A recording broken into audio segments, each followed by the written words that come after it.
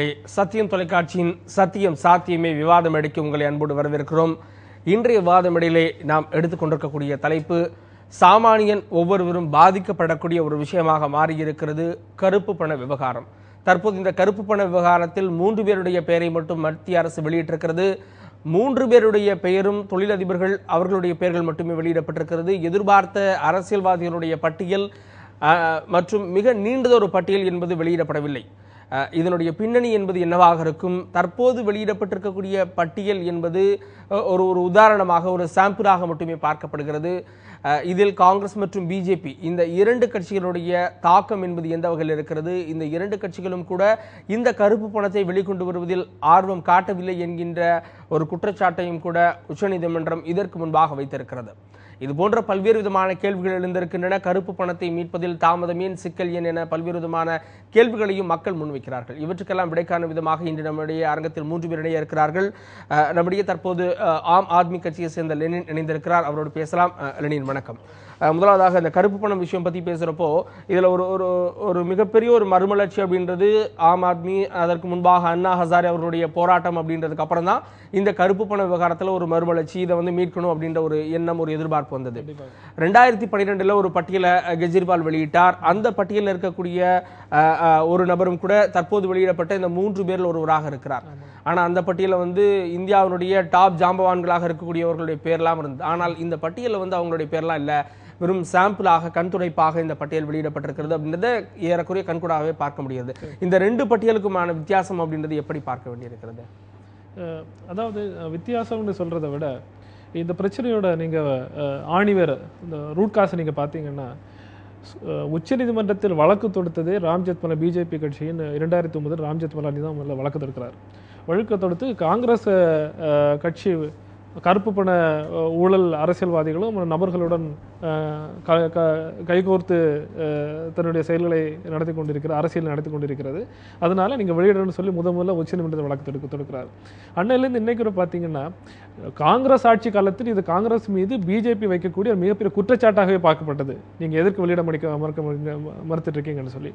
அதற்கு நீங்கள் காங்கிரஸ் சொன்ன பதில் என்னன்னா இன்று சுவிட்சர்லாந்தில் ஹெச்எஸ்பிசி வங்கியில் பதுக்கி வைக்கக்கூடிய பணமும் ஜெர்மனியில் உள்ள லைச்செஸ்டர் ஸ்ட்ரீன் இடத்த பேங்க்ல உள்ள படி பதுக்கி வைக்கக்கூடிய பதுக்கி பதுக்கி வைக்கப்பட்டிருந்த பணமும் பார்த்தீங்கன்னா டபுள் டாக்ஸேஷனில் வந்துடுது. டபுள் டாக்ஸேஷன் அக்ரிமெண்ட்டில் போனாலே நம்ம டபுள் டாக்ஸேஷன் அக்ரிமெண்ட் இருக்கக்கூடிய ம எதிர்த்தரப்பு நாடு ப- பட்டியலை வெளியிடுவதற்கு நமக்கு தடை விதித்திருக்கிறார்கள். ப்ரைவசி போயிடும்னு சொல்லி அவங்க வந்து சொல்கிறாங்க இதுக்கு காங்கிரஸ் சொல்லக்கூடிய ஒரு பதில் என்னன்னா நம்ம அந்த அக்ரி டபுள் டாக்ஸேஷன் அக்ரிமெண்ட் இரட்டை வதிவிப்பு வதிவிருப்பு அக்ரிமெண்ட்டை மீறி நம்ம வந்து அந்த வெளியிட்ட பிரைவசியை மீறி நம்ம வெளியிட்டோம்னா மற்ற நாடுகள் அமெரிக்காவோ இங்கிலாந்தோ நம்ம போக போகக்கூடிய இனி இனி வருங்காலத்தில் நம்ம செய்ய இருக்கக்கூடிய இரட்டை வதிப்பு முறை அக்ரிமெண்ட்டான டபுள் டாக்ஸேஷன் அவாய்டன்ஸ் அக்ரிமெண்ட்டை வந்து அவங்க வந்து செய்ய மாட்டாங்க. இதனால் இந்தியாவுக்கு பெரிய இழப்பு நேரிடும் அப்படின்னு சொன்னாங்க.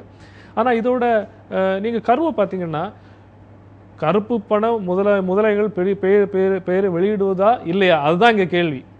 நீங்கள் வந்து இதுக்காக ஆயிரம் காரணத்தை நீங்கள் கற்பித்து கொண்டே போயிட்டு இருக்கலாம் காங்கிரஸ் ஆட்சியும் போது பிஜேபி இப்படி ஒரு வழக்கு ஒரு இதுக்கு மேலே ஒரு ஒரு அட்டாக் பண்ணுறாங்க ஒரு ஒரு தாக்குதலை பண்ணுறாங்க அதே த- தாக்குதலை நீங்கள் வந்து நீங்கள் வந்து இந்த இந்த தேர்தலில் வர சமயம் நரேந்திர மோடி என்ன பண்ண பண்ணுறாருன்னா நூறு நாட்களில் நாங்கள் இதே வந்து கருப்பணத்தை மீட்டு கொண்டு வருவோம்னு சொல்லி அதே ஒரு வாக்குறுதியாக வைக்கிறாங்க. ஸோ அந்த வாக்குறுதியை வைத்த உடனே இவங்க வந்து என்ன பண்றாங்கன்னா ஊழலுக்கு எதிரான போராட்டங்கள் அரவிந்த் கெஜ்ரிவாலால் தொடங்கப்பட்ட ஆம் ஆத்மி கட்சியின் போராட்டம் இரண்டாயிரத்தி பன்னெண்டாம் அதுவும் நடந்துட்டு இருக்கு அந்த ஸ்பேஸை இவங்க எடுக்கிறதுக்காகவே இந்த ஒரு வாக்குறுதியை வைக்கிறதா நாங்க அதை பார்க்குறோம். அந்த ஸ்பேஸ் ஆக்குபை பண்ணுறது சாரி ஆம் ஆத்மி கட்சி வைக்கக்கூடிய பேசிக்கான வந்து சில சில கோரிக்கைகளில் ஒன்று வந்து இந்தியாவில் ஊழல் நடந்துட்டுருக்கு. இத்தனை கோடி லட்சம் கோடி ரூபாய் ஊழல் நடந்துட்டுருக்கு. ஊழலில் பெரும்பாலும் பங்கு வைக்கக்கூடியவர்கள் வந்து அரசியல்வாதிகள். அவர்கள் பே பேர் எனக்கு வெளியிட வேண்டும் தான் சொல்கிறாங்க ஸோ அந்த ஸ்பேஸை ஓட் பேங்கை வந்து இவங்க வந்து கன்வெர்ட் பண்ணுறதுக்காக இப்படி ஒரு வாக்குறுதியை வைக்கிறாங்க. வாக்குறுதியை வைத்து விட்டு ஒரு ஹை பவர் கமிட்டி அமைக்கிறாங்க. சுப்ரீம் கோர்ட் ஆணையிட்டபடி என்ஃபோர்ஸ்மெண்ட் டைரக்டரேட் இன்டெலிஜென்ஸ் எல்லாரும் சேர்ந்து ஹோம் மினிஸ்டர் எல்லாம் சேர்ந்து ஒரு high high high high powered committee அமைக்கிறாங்க. அந்த கமிட்டி வந்து ஒர்க் பண்ணி வெளியிடும்னு சொல்லி சொல்கிறாங்க ஆனா அந்த கமிட்டியை அமைத்து ரொம்ப நாள் காய்க்கும் ஏன்னா வந்து அவர் பண்ண முதல் வேலையை ஆட்சி பதவியேற்ற முதல் வேலையை வந்து அந்த ஹை இம்போர்ட் கமிட்டி அமைச்சர் தான் முத முதல்ல பண்ணாங்க. பண்ணிட்டு இன்னைக்கு கூட பார்த்தீங்கன்னா அவங்க எந்த விதமான அதாவது சிக்னிஃபிகன்ட் ஸ்டெப்ஸ்னு சொல்லக்கூடிய வந்துட்டு பெரிய ந- நடவடிக்கைகளும் பெரிய செயல்கள் எதுவுமே இது வந்து ஒரு நூறு நாட்கள்ல வந்து கருப்பு பணத்தை மீட்க முடியும் அப்படின்றது ஒரு வாக்குறுதியா கொடுக்கறப்பே நமக்கு தெரியும் இது முடியாது அப்படின்னு ஒரு விஷயம். கண்டிப்பா. ஆனா கடந்த கவர்மெண்ட்லயும் இதே தான். மன்மோகன் சிங் சொன்னாரு தொண்ணூறு நாட்கள்ல மீட்டு கொண்டு வருவோம்னு ரெண்டாயிரத்தி ஒன்பதுல சொன்னாரு. இப்ப மோடியும் அதை சொல்லியிருக்காரு. ஆனா கடந்த ஆட்சியோடு ஒப்பிடும்போது தற்போது இந்த வேகம் அப்படின்றது அதிகமா இருக்கு அப்படின்றத பார்க்க முடிகிறது. அப்ப ஏறக்குறைய இந்த ஆட்சிக்குள்ளாகவே கருப்பு பணம் எல்லாம் இந்தியாவிற்கு வந்துவிடும் எதிர்பார்க்க முடிகிறதா? இல்ல அது எதிர்பார்க்க முடியாதுங்க.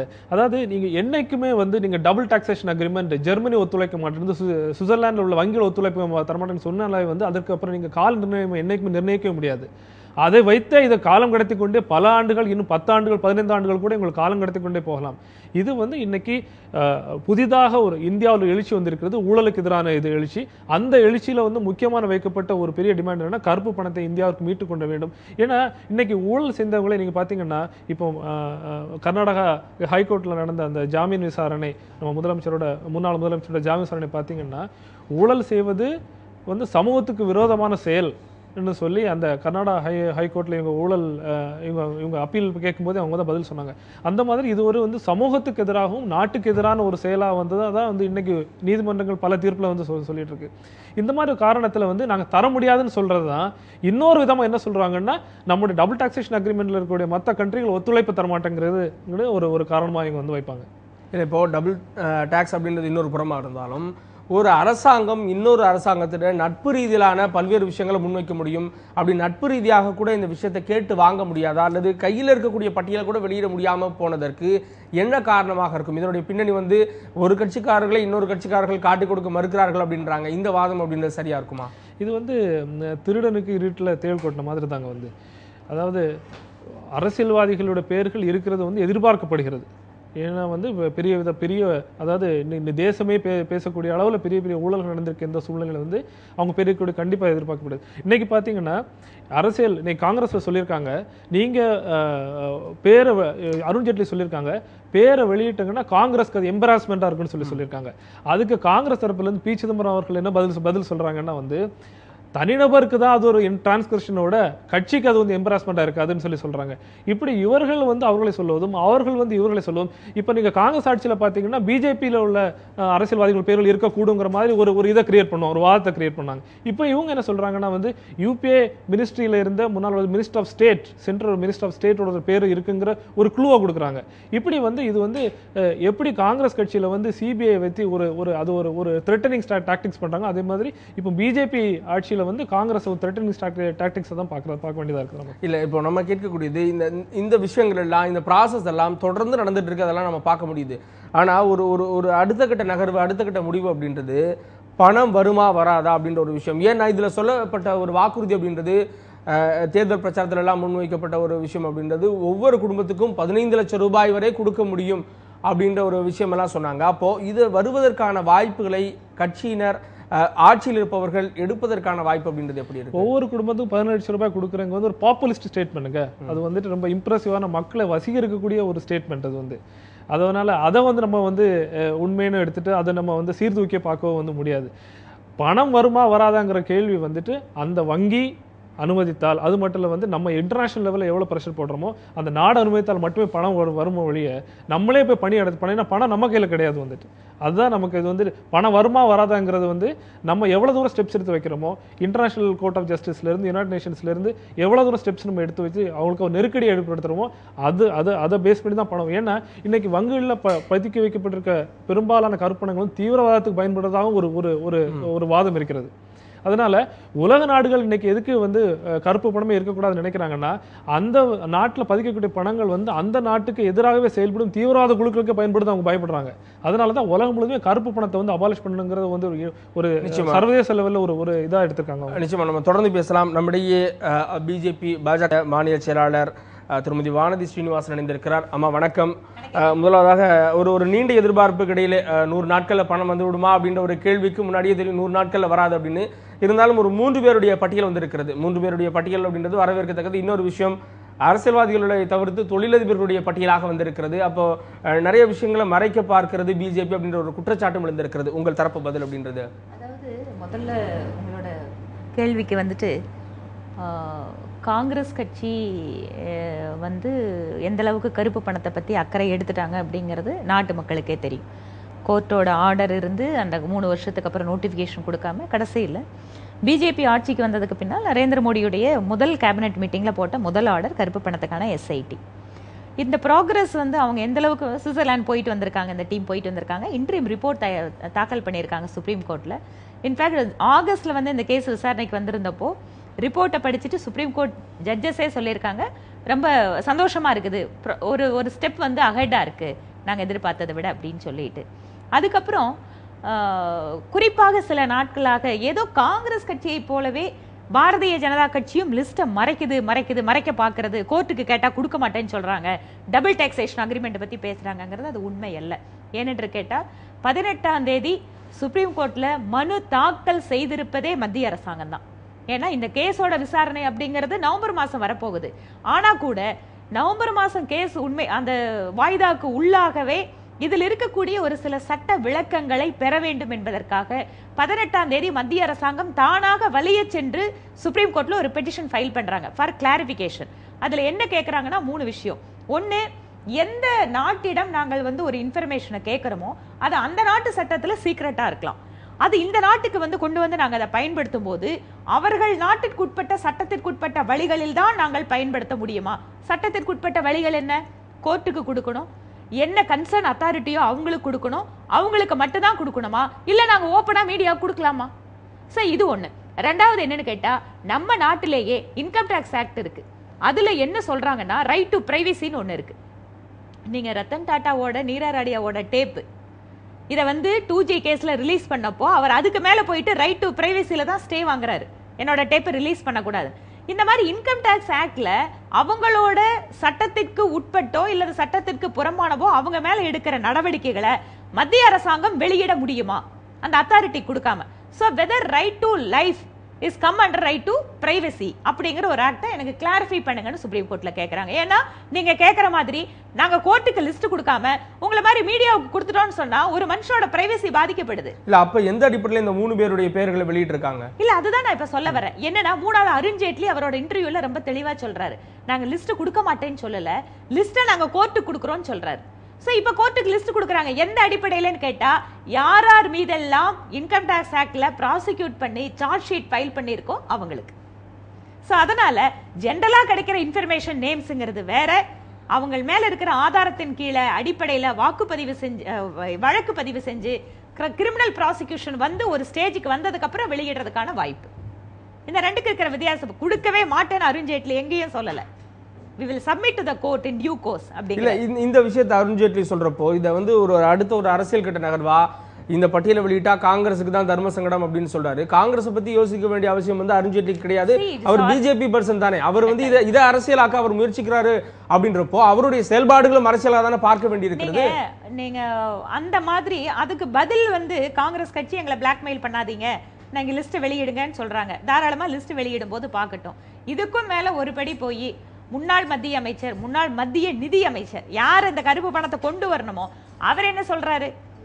தனிப்பட்ட இண்டிவிஜுவல் கொண்டு வர பணத்துக்கும் காங்கிரஸ் கட்சிக்கும் சம்மந்தம் இல்லை அப்படின்னு பார்த்தோம். அவர் சொல்ற ஏற்பாட்டின்படி பார்த்தா ஒரு நிறுவனம் செய்யற தப்புக்கு முதலாளி பொறுப்பில்லை அங்க யார் அந்த ஸ்டாஃப் கையாளுறாங்களோ அவங்க மட்டும்தான் பொறுப்புன்னு ஆகும்.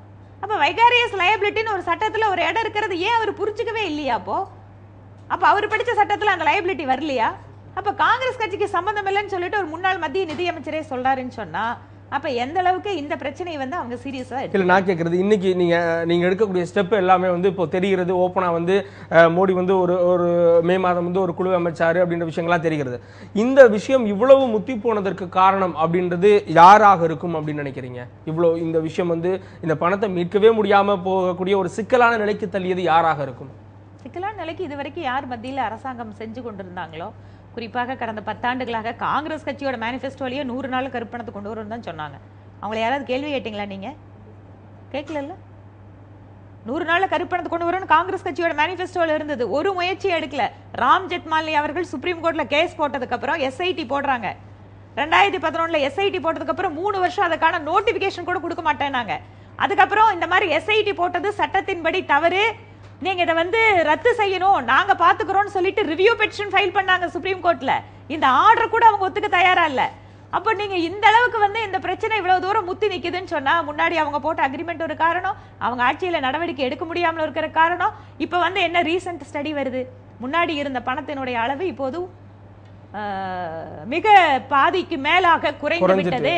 அப்படின்னா அப்ப இதுக்கெல்லாம் காரணம் யாரு? சரியாக நடவடிக்கை எடுக்காத முன்னாள் அரசாங்கம் தான் சொல்லும் நிச்சயமாக தொடர்ந்து பேசலாம். நம்முடைய காங்கிரஸ் கட்சியினுடைய சட்டமன்ற உறுப்பினரும் காங்கிரஸ் கட்சியினுடைய செய்தி தொடர்பாளருமான விஜயதரணி இணைந்திருக்கிறார். ஆமாம் வணக்கம். அதாவது ஒரு ஒரு மிகப்பெரிய ஒரு எதிர்பார்ப்பு கருப்பு பணம் இந்தியாவிற்கு வருமா அப்படின்ற எதிர்பார்ப்பு எல்லாம் விட கருப்பு பண பட்டியலையாவது குறைந்தபட்சம் வெளியிடுவீங்களா அப்படின்ற ஒரு கேள்வி இருந்தது. அதற்கு இப்போ ஒரு மூன்று பேருடைய பட்டியல் அப்படின்றது வெளியாகி இருக்கிறது.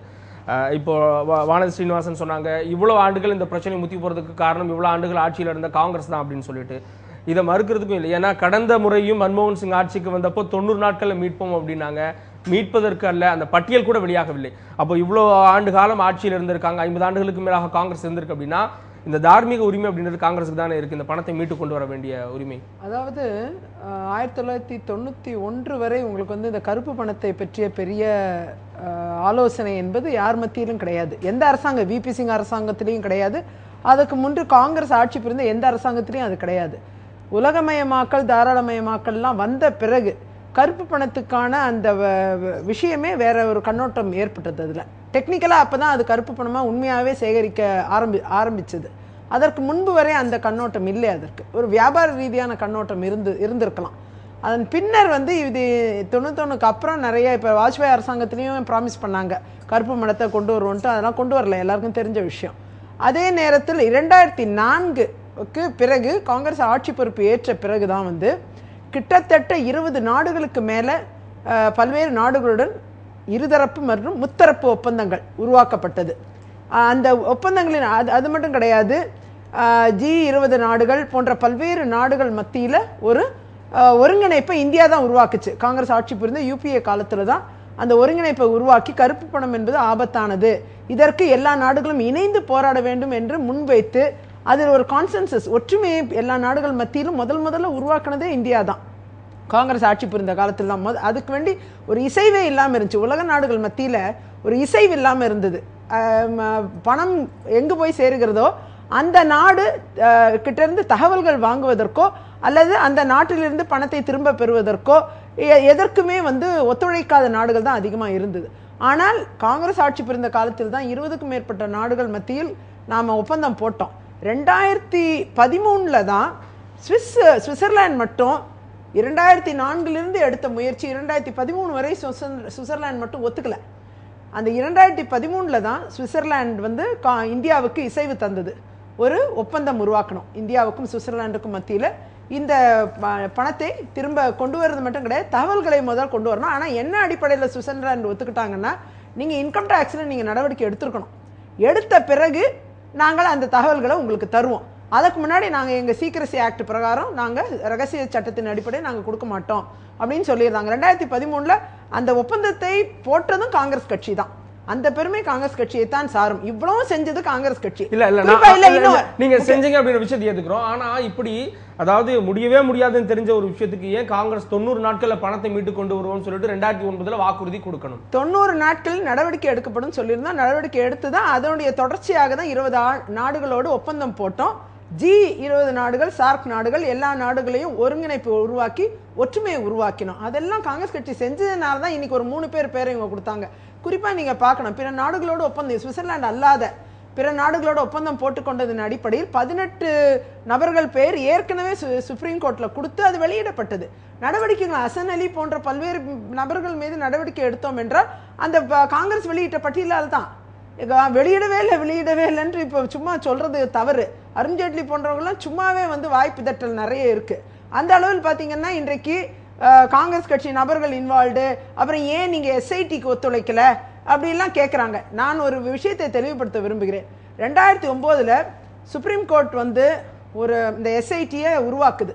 சுப்ரீம் கோர்ட் தான் உருவாக்குது. ராம்ஜத் மலானி கேஸ் ஃபைல் பண்ணி இந்த சிறப்பு புலனாய்வு குழுங்கிறது யாருமே கேட்கல முதல் முதல்ல சுப்ரீம் கோர்ட் தான் அதை சஜஸ்டே பண்ணுறாங்க ஏன் ஒரு சிறப்பு புலனாய்வு குழு நம்ம உருவாக்கக்கூடாது அப்படின்னு அந்த ஆலோசனை அப்போ தான் முத முத வருது.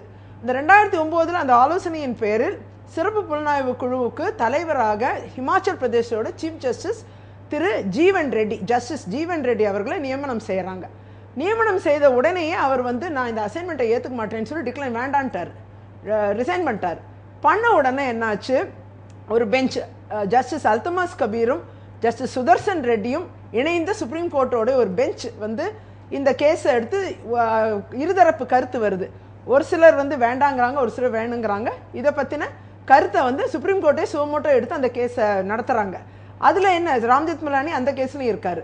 அதில் என்ன முடிவுக்கு வர்றாங்கன்னா அல்தமாஸ் கபீர் வந்து ஒரு முடிவை எடுக்கிறார். சுதர்சன் ரெட்டி வேறு முடிவார் ஸ்பிளிட் ஜட்ஜ்மெண்ட் அது.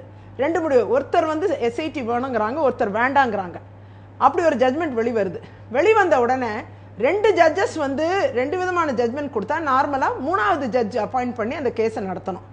அப்போது அதில் ஒருவர் ரெட்டி வந்து இறந்துடுறாரு. அதன் பின்னர் அந்த இறந்தவருடைய ஜட்மெண்ட் மேல மூணாவது ஜட்மெண்ட் வரணும்னா மீண்டும் சீஃப் ஜஸ்டிஸ் ஆஃப் இந்தியாவுக்கு போய் பர்மிஷன் ஒரே ஒரு விஷயம் சொல்றேன். நீங்க சொன்ன இந்த சட்ட நடைமுறைகள் அப்படின்றது சாமானியனுக்கு எந்த வகையில புரியும்? இல்ல இல்ல. புரியணுங்கிறதுக்காக தான் சொல்லிக்கிட்டு இருக்கேன்.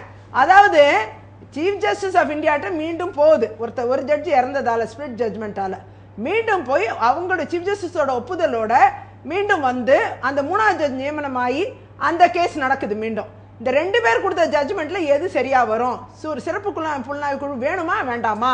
அப்படின்னு ரெண்டு பேர் வே- ஒருத்தர் வேணும் வேணாம்னு கொடுத்துட்றாங்க.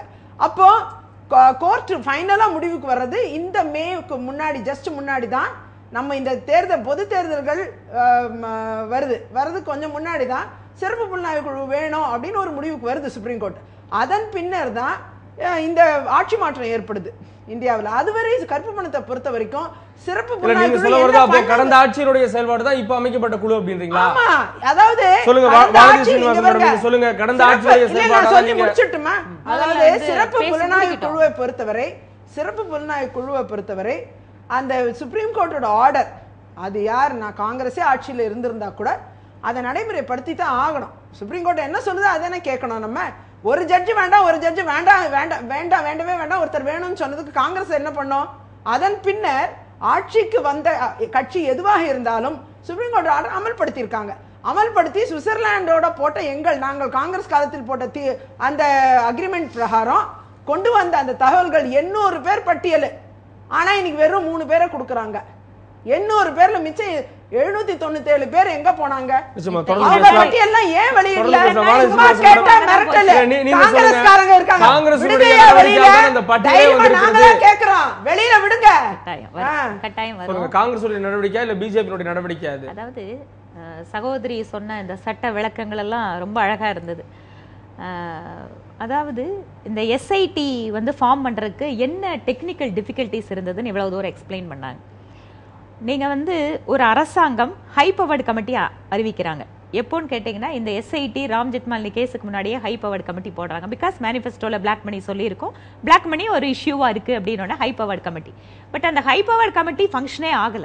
ஒரு அரசாங்கம் மத்திய அரசாங்கம் போடுற ஒரு கமிட்டி வேலையே செஞ்சிருந்தேன்னு சொ- வேலை செஞ்சிருந்தேன்னு சொன்னால் சுப்ரீம் கோர்ட்டுக்கு வேலையே இல்லை. நான் கேட்குறேன் சுப்ரீம் கோர்ட் சொல்லி சொல்லி தான் அரசாங்கம் நடந்துச்சா? அப்போ எதுக்கு அரசாங்கம்? எல்லா டைரக்ஷனையும் சுப்ரீம் கோர்ட்ல எதிர்பார்த்துட்டு இருக்கிறதா உங்களுக்கு கவர்மெண்ட்டை ரன் பண்ண வேண்டாமே. நீங்க பாட்டுக்கு கம்மனு கோர்ட்ல டெய்லி வந்து ரிப்போர்ட் இன்னைக்கு எந்த பாலிசி டெசிஷன் எடுக்கலாம்? இந்த மினிஸ்ட்ரி எடுக்கலாம்? அப்படின்னு கேட்டுட்டு போயிட்டே இருக்கலாமே. அப்ப சுப்ரீம் கோர்ட் மேல ஜட்ஜ் இறந்துட்டாரு. அது இதுன்னு பழி போடுறதுல அர்த்தம் இல்ல. உண்மையாகவே போன முறை மத்திய அரசாங்கத்திற்கு இந்த எண்ணம் இருந்திருந்தால் உறுதியாக. ஹை பவர் கமிட்டிக்கு சுதந்திரம் கொடுத்து அவங்க பாட்டுக்கு இந்த வேலையை முடிச்சிருக்க முடியும். இந்த அஞ்சு வருஷ காலத்துல ஏகப்பட்ட பணம் வெளியில போகாம தடுத்திருக்க முடியும். தடுத்திருக்க முடியும். நான் சொல்லி முடிச்சிறேங்க சகோதரி. நீங்க சொல்ற வரைக்கும் நான் பொறுமையா இருந்தேன். அதே மாதிரி இந்த எஸ்ஐடில டெக்னிக்கலாக சுப்ரீம் கோர்ட்டு லேட் ஆச்சு ஸ்பிளிட் ஜட்ஜ்மெண்ட் வந்து நான் சொல்றேன். அப்படி சுப்ரீம் கோர்ட் ஜட்ஜ்மெண்ட் கொடுத்ததுக்கப்புறம் ரிவ்யூவில் போயிட்டு எதுக்கு அதை கேன்சல் பண்ணணும்னு கேட்குறாங்க ஒரு கவர்மெண்ட் உண்மையாகவே இம்ப்ளிமெண்ட் பண்ணணும்னு நினைச்சிருந்தா கவர்மெண்ட் இம்ப்ளிமெண்ட் பண்ணியிருக்கலாமே? அப்போ சுப்ரீம் கோர்ட் இன்னைக்கு வந்து டிலே ஆச்சுன்னு சொல்றதெல்லாம் சப்பக்கட்டு. உண்மையாகவே அவர்களுக்கு அக்கறை இல்ல அப்ப அந்த உள்நோக்கம் என்னவா இருக்கும்? அந்த அக்கறையில் அந்த உள்நோக்கம் என்னவா இருக்கும்? உள்நோக்கம் என்னவா இருக்குன்னு யாருக்கு தெரியாது. என்ன திருப்பி திருப்பி கேட்டு இருக்கிறீங்களா எங்க அரசாங்கத்துக்கு அக்கறை இல்லைன்னு என்ன அர்த்தம்? வி லெனின் நீங்க சொல்லுங்க. இப்போ நம்ம பார்த்தோம் ரெண்டாயிரத்தி நான்குல இருந்து வேகம் எடுத்தாலும் கூட இந்த ஒரு குறிப்பிட்ட ஆண்டுகள்ல பணம் போட்டிருந்தவங்களுடைய எண்ணிக்கை எண்பது சதவீதம் குறைஞ்சிருச்சு. பணத்தெல்லாம் எடுத்துட்டாங்க அப்படின்னு. அப்போ இவங்க பேசி இவங்க சொன்ன சட்ட நடைமுறைகள்லாம் முடியிறப்போ ஒட்டுமொத்தமாக எல்லாருமே வந்து பணத்தை எடுத்துருவாங்க. அப்போ அக்கௌண்டே இல்லாத ஒரு இடத்துல தான் போய் நம்ம நிற்க வேண்டிய ஒரு நிலைமை வரும் அப்படின்ற ஒரு ஒரு ஒரு கேள்வி இருக்கிறது. இந்த காலதாமதம் அங்கே பணம் போட்டிருக்கவங்களுடைய அவங்கள கூட ஒரு பூஸ்டப் பண்ணுறாங்க பணத்தை எடுத்துக்கோங்க. அப்படின்னு இரண்டு கட்சிகளும் பூஸ்டப் பண்றாங்கன்னு ஒரு குற்றச்சாட்டு இருக்கு. இதை ஏற்றுக்கொள்ள முடியுமா? இன்றைக்கு இன்னைக்கு வெளியிட்ட அந்த மூணு நபரே வந்து என்ன சொல்லியிருக்காங்க பாருங்க. இன்னைக்கு மத்தியானம் வெளியிட்ட உடனே அவங்க மூணு பேரையும் வந்து ஜேர்னலிஸ்ட் பேட்டி காண்றாங்க ஒருத்தர் சொல்றாரு வந்து என்னோட அக்கௌண்ட் வந்து லெஜிட்டிமேட் அக்கௌண்ட் சொல்றாரு வந்து. நான் அவனோட இன்கம் இன்கம் டேக்ஸ் சப்மிட் பண்ண ரிட்டர்ன்ஸ் நான் வந்து டிக்ளேர் பண்ணியிருக்கேன். லெஜிட்டிமேட் அக்கௌண்ட் சொல்றாங்க. இனி ரெண்டு பேர் என்ன சொல்றாங்கன்னா எனக்கு ஃபாரின் அக்கௌண்ட்ஸே கிடையாதுன்னு சொல்றாங்க. சரிங்களா? ஸோ இப்போ அடுத்த கேள்வி என்னன்னா அவங்களுக்கு உண்மையாட்ட அக்கௌண்ட் இருந்தா இல்லையா? இல்லாட்டி லெஜிட்டிமேட் அக்கௌண்ட்டா இல்லையான்னு சொல்லிட்டு. கவர்மெண்ட் ஆஃப் இந்தியாவை பார்த்தீங்கன்னா hundred twenty five thousand dollars வந்துட்டு வைக்கிறவைக்கு வந்துட்டு இவங்க வந்து பெர்மிட் பண்ணுறாங்க இன்கம் டேக்ஸ் வந்து பெர்மிட் பண்ணுறாங்க இந்தியாவில் ஸோ இந்த மாதிரிப்பட்ட கேள்விகளுக்குள்ள உள்ள நம்ம அஹ், போகாம இந்த பட்டியல் உள்ள நபர்கள் பணத்தை எடுக்கிறாங்களா எடுக்கலையா? இல்லை வந்து அது அதற்காக வங்கிகள் உடந்தையாக இருக்கிறதா? பிற நாடுகள் உடந்தையாக இருக்கிறதாங்கிறது வந்துட்டு அப்பாற்பட்ட ஒரு ஒரு கேள்வியாக தான் பார்க்க முடியும் ஏன்னா அதோட இன்ட்ரிகேசிஸ் வந்து நமக்கு உள்ளே போக முடியாது. என்ன நடந்துட்டு இருக்குன்னு சொல்லி நமக்கு வந்துட்டு நம்ம வெளிவரதில்லை. அதனால நமக்கு அது தெரிஞ்சுக்கிற வாய்ப்பு நமக்கு கம்மி. இதில் வந்து இந்தியன் கவர்மெண்ட் எவ்வளோ ஃபோர்ஸாக ரெசிப்ரோகேட் பண்ணி அதை வந்து எடுத்துகிட்டு வராங்கிறதா இப்போ கேள்வி. இப்போ வானதி சொன்ன மாதிரி வந்து இது வந்து ரெண்டு காங்கிரஸ் ஆட்சியிலையும் அவங்க வந்து ஒரு வாக்குறுதியாக கொடுத்துருக்காங்க. அந்த வாக்குறுதி நிறைவேற்றுக்காக இவங்களே சுப்ரீம் கோர்ட்டில் போய் ரிவ்யூ பெட்டிஷனை போடுவாங்க. அப்புறம் எஸ்ஐடி போடணும்னு சுப்ரீம் கோர்ட் ஆர்டர் வந்த உடனே எஸ்ஐடி சொல்லுவாங்க இல்லை இல்லை போடலாம்னு சொல்லி தள்ளி போட்டே போனாங்க. அப்போ நரேந்திர மோடி வந்த உடனே ஃபர்ஸ்ட் ஆக்ஷனாக ஃபர்ஸ்ட் கேபினட் மீட்டிங் முதல்ல பேசுன மாதிரி ஃபர்ஸ்ட் கேபினட் மீட்டிங்லேயே வந்துட்டு எஸ்ஐடி வந்துட்டு அவர் கொண்டு வராரு. இப்போ கேள்வி என்னன்னா இதில் வந்து பாரதிய ஜனதா கட்சியை சார்ந்த ஒரு அரசியல்வாதிகளும் காங்கிரஸ் கட்சியை சார்ந்த அரசியல்வாதிகளும் இதில் இருக்கிறார்களா? இல்லாட்டி அவர்களுக்கு வந்து சப்போர்ட் பண்ணக்கூடிய வந்து பெரிய கார்ப்பரேட் முதலாளிகள் அதில் இருக்கிறாங்களா தான் கேள்வி. அதற்காகத்தான் மூடி உரைக்கிறதாக நாங்கள் கருதுகிறோம். நிச்சயமாக தொடர்ந்து பேசலாம். வானதி மேடம் நீங்கள் சொல்லுங்க. இன்னொரு ஒரு கேள்வி இருக்கிறது. ஏறக்குறைய இந்த பத்து ஆண்டு காலம் அப்படின்றப்போ எண்பது சதவீதம் பேர் பணத்தை எடுத்துட்டாங்கன்னு ஒரு புறம். அதுவும் டிசம்பர் முப்பத்தி ஒன்றுக்குள்ள பணத்தை எடுத்துக்கங்கன்னு சொல்லிட்டு மூணு பேர் வந்து டெல்லியில கேன் வாஷ் பண்ணிட்டு இருக்காங்க அப்படின்றது இப்போ வந்து லேட்டஸ்ட் செய்தியாக இருக்கிறது. அப்போ இந்த இரண்டு கட்சிகளும் சேர்ந்து பணத்தை போட்டு வைத்திருக்கவர்களுக்கு பாதுகாப்பு கொடுக்கிறதா அப்படின்ற ஒரு எதிர்த்தரப்பு கேள்வி எழுகிறது. இதனை எப்படி பார்க்க வேண்டியிருக்கிறது? இந்த காலதாமதம் கூட ஒட்டுமொத்த பணமும் இல்லாமல் போவதற்கு வழிவகை செய்தும் தானே? இல்ல கரெக்ட் நீங்க கேக்குறது வந்து ரொம்ப நியாயமான கேள்வி. நம்ம காலதாமதம் செய்ய செய்ய இந்த நாடுகளில் பணம் போட்டு வச்சுருக்கவங்கெல்லாம் ரொம்ப சேஃபாக இன்னொரு இடத்துக்கு கொண்டு போக முடியுமா அப்படிங்கிறது. பட் நான் என்ன சொல்கிறேன் ஒரு ஒரு ஒரு ஒரு கண்ட்ரியில் வந்து இவங்க சட்ட விரோதமாகவே போட்டு வச்சுருக்கனால அதை அவங்க எடுத்து அடுத்த நாடுகளுக்கு அப்படின்னு மாற்றும் போது நிச்சயமாகவே இதில் வந்து குறிப்பிட்ட வங்கிகளை வைத்திருக்கக்கூடிய நாடுகள் அப்படிங்கிறதெல்லாம் எனக்கு ஐடென்டிஃபை ஆயிடுச்சு. சகோதரி ஒரு விஷயம் சொன்னாங்க இருபது நாடுகளை நாங்கள் சொல்லி தான் ஒன்றா சேர்த்தணும் நாங்கள் சொல்லி தான் எல்லாம் நடந்ததுன்னு. என்ன நடந்ததுன்னு கேட்டால் அந்த கருப்பு பண விவகாரத்தில் உலகம் முழுக்க ஒரு பொருளாதாரத்துல ஒரு தேக்க நிலை வருகிறது. அப்ப வரும்போது ஈரோப்பிய ஐரோப்பிய நாடுகள்லயும் மற்ற நாடுகள் பாதிக்கப்பட்ட நாடுகள்ல அப்ப அவங்களுக்கு தெரியுது அவங்க நாட்டுல இருக்கக்கூடியவன் நிறைய பேர் வந்து கருப்பு பணத்தை வெளிநாடுகள்ல வச்சிருக்காங்கன்னு. அப்போ என்ன நடக்குதுன்னு கேட்டீங்கன்னா சுவிட்சர்லாந்துல இருக்கக்கூடிய ஒரு வங்கி அதே மாதிரி லிஸ்டன்சைன் இந்த ரெண்டு கண்ட்ரில இருக்கக்கூடிய பேங்க்குக்கு ஜெர்மனி. ஜெர்மனி வந்து பணம் கொடுக்குறாங்க. அதாவது அந்த பேங்க்ல வேலை செய்யற ஒரு அத்தாரிட்டிக்கு பணத்தை கொடுத்து லிஸ்ட்டை வாங்குறாங்க. அவங்க வாங்கின லிஸ்ட்டை எடுத்து பார்க்கும்போது அவங்களுக்கே ஷாக் ஆகுது. அவங்க நாட்டு குடிமக்களை விட இந்திய நாட்டு குடிமக்களோட பணம் அங்கே அதிகமாக இருக்குன்னு. உடனே அவங்க கம்யூனிகேட் பண்ணுறாங்க இந்தியாவுக்கு. கவர்மெண்ட்டுக்கு சொல்கிறாங்க நாங்கள் வந்து பணம் கொடுத்து லிஸ்ட் வாங்கிட்டோம். லிஸ்ட் வாங்கல உங்கள் நாட்டு குடிமக்களோட பேரெல்லாம் இருக்குது நீங்கள் விரும்பினா நீங்கள் தேவைப்பட்டதுன்னு சொன்னால் இந்த பெயர்கள் எல்லாம் நாங்கள் இலவசமாக கொடுக்குறோங்கிறாங்க. நாங்கள் அவங்களுக்கு காசு கொடுத்து வாங்கிட்டோம் நீங்கள் அந்த காசு கூட கொடுக்காதீங்க. உடனடியாக காங்கிரஸ் கட்சி சொல்கிறாங்க ஐயோ தயவு செஞ்சு பேரை கொடுத்துறாதீங்க. நாங்க வந்து உங்களோட வந்து வேற ஏதோ அக்ரிமெண்ட் ஒன்று போடணும். அதனால தயவு செஞ்சு நீங்க பேரை கொடுக்காதீங்க. நாங்க வாங்குறப்ப வாங்கிக்கிறோம்னு சொல்லிட்டு அதுக்கப்புறம் அக்ரிமெண்ட் எல்லாம் போட ஆரம்பிக்கிறாங்க. இது காங்கிரஸ் கட்சினால ஜி டுவெண்ட்டிலையோ இருங்கம்மா சொல்லி முடிச்சது அப்புறம் சொல்லுங்க. எதோ காங்கிரஸ் கட்சினால உலக நாடுகள் எல்லாம் ஒன்றா சேர்ந்தது. இவங்க சொல்லி தான் வந்து எல்லா நாடுகளும் பணத்தை கேட்க ஆரம்பிச்சாங்கன்னு இல்ல. ஒவ்வொரு நாடுகள்லையுமே இதே மாதிரி தான் அமெரிக்கா. சுவிட்சர்லாந்து நாட்டுக்கு நெருக்கடி கொடுக்குறாங்க. என்னோட சிட்டிசன் யாராவது பணம் போட்டு வச்சிருந்தா ஒழுங்கா நீ வந்து லிஸ்ட் என்கிட்ட கொடு. இல்லைன்னு சொன்னா நாங்க நடவடிக்கை எடுப்போம். வேற மாதிரி எடுப்போங்கிறாங்க. பயந்து போய் சுவிட்சர்லாந்து நாடு வந்து லிஸ்ட் கொடுக்குது. அதனால உலகம் முழுக்க இருக்கக்கூடிய நாடுகள் பொருளாதார நெருக்கடியின் காரணமாக இந்த கருப்பு பண விவகாரத்தை கையில் எடுக்கிறார்கள்.